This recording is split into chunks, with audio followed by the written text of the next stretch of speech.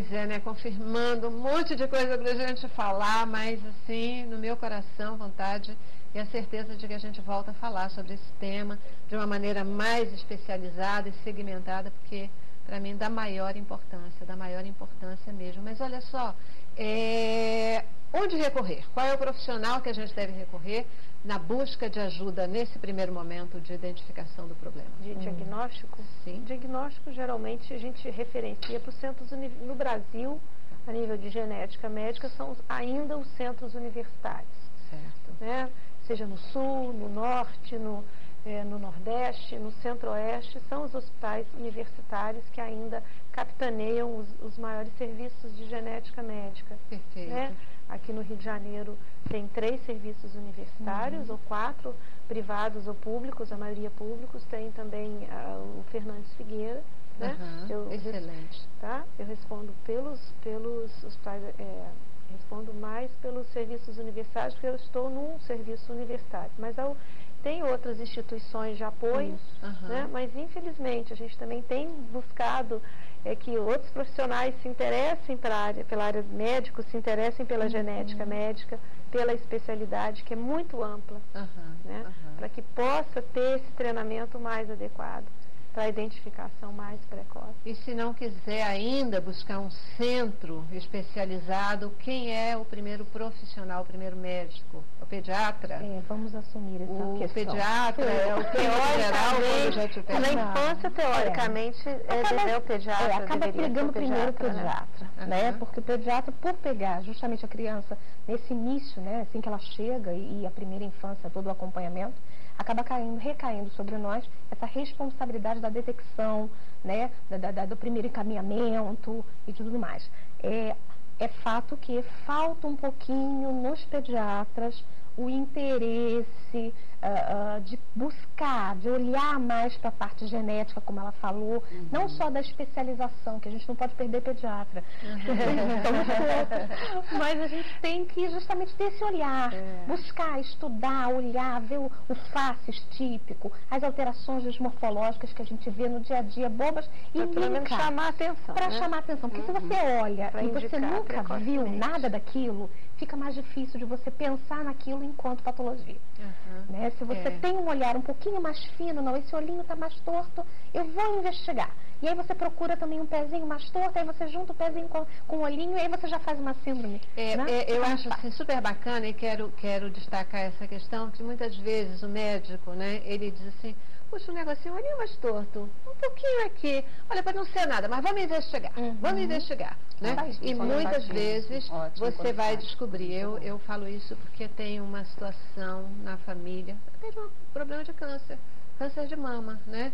E que a gente louva a Deus porque uma médica um dia ela disse assim, gente, isso não é nada. Mas se o cara sinalizou que tem um tracinho aqui que não devia ter, vamos olhar o que que é. Sim, e todo mundo dizia, mas não, não precisa uhum. investigar. Mas a médica insistiu e percebeu, Perfeito. e era um câncer, né? Era um câncer de mama e, e, e, a pessoa pode ser tratada, minha irmã pode ser tratada, está curada, graças a Deus. Graças porque o médico, ele insistiu numa uhum. coisa que parecia não ser nada. É. Queridas, olha, muitíssimo obrigada pela presença e participação de vocês. Uma delícia conversar com vocês hoje aqui, tá bom? Eu que agradeço. Muitíssimo obrigada. Nós que agradecemos. E, e é, com certeza a gente vai continuar e eu espero poder contar com a participação de vocês. Tá Será um prazer. Vai ser um prazer.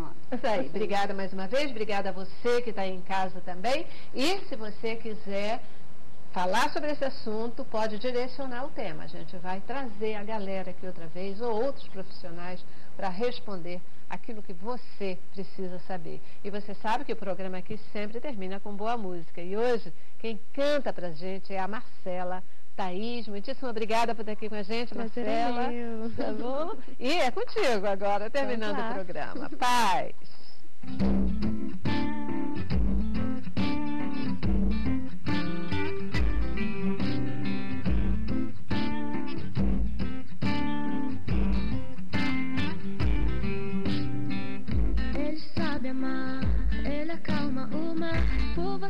pode fazer até o sol parar.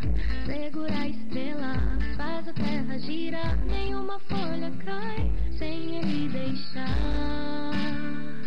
Por você ele faz o que ninguém jamais fará.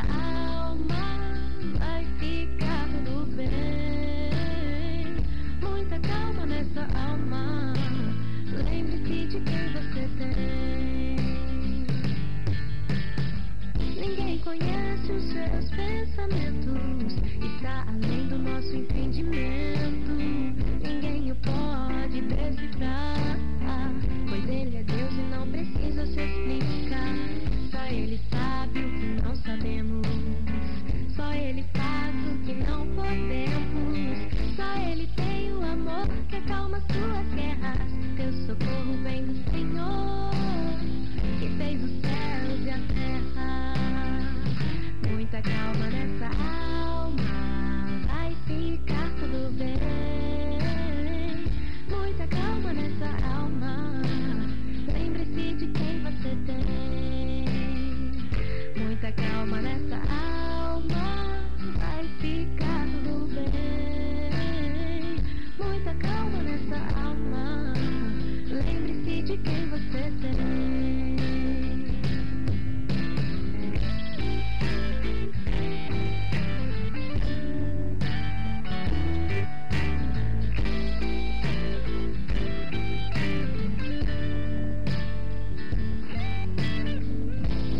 Coração bobinho se achando sozinho. Leia nas estrelas o quanto ele te ama.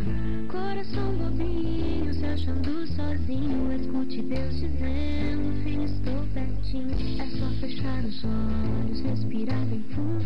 Coloca as vozes do medo no modo mudo. Lembra que foi ele quem criou o mundo. Lembra que ele tem o controle de tudo. Lembra que foi ele.